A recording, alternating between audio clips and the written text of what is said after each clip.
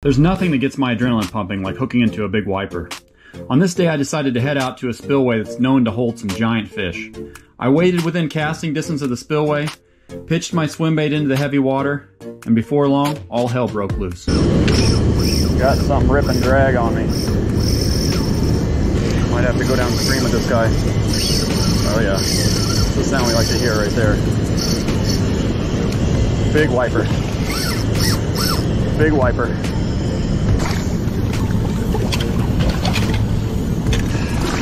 You kidding me? Look at that thing. Holy crap. Can barely hold him up.